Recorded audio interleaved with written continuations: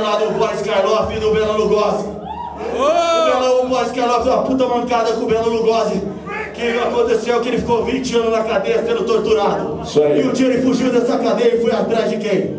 Do Boris Karloff. Foi em busca do quê? De vingança. E um dia ele chegou lá, tocou a porta da casa dele numa, no meio de uma tempestade. Abriu a porta. A hora que o Karloff olhou pro Lugosi, ele sabia que ele tinha rodado. Mas é o seguinte, o que eu, o que eu queria dizer é que na vida O Boris Karloff. nós somos o Bela Lugosi e a vida é o Boris Karloff. Cara de maconha! O nome dessa música é Gato Preto!